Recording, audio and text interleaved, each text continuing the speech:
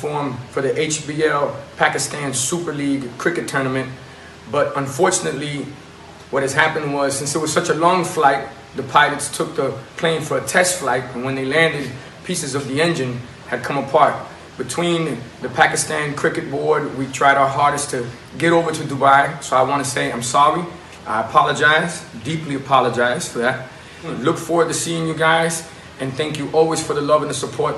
I appreciate it. With that said, enjoy, have fun. Thank you to HBL and the Super League for even thinking of me to be able to come to the cricket tournament. Really appreciate it.